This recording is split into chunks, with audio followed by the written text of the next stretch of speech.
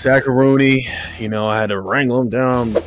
Big old Dak. Just something about Dallas. Unfortunately, I hate to say this, I grew up a Cowboys fan. I mean, ever since they didn't draft me, I'm like, hey, y'all had your op, and now you got to see me. They tried to motion CeeDee to kind of see, all right, is a man zone read. I knew that they either they love slants and they love crossing routes to try to when when we're in man coverage, if they want our guys to run into each other as their guys are kind of crossing to knock them off. And so I'm popping and I'm kind of looking in my peripheral to see if they're crossing. I, I see CeeDee coming across and the tight end, so I literally just had to try to jump in front of both of them to knock them off just to make sure that they didn't rub the the guys that were covering. So boom, when I knock them off, that knocks their timing off of the play. Dak's like, Dak has a pump it. Oh, he, he escapes out.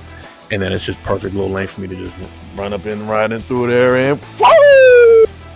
Sackaroonie.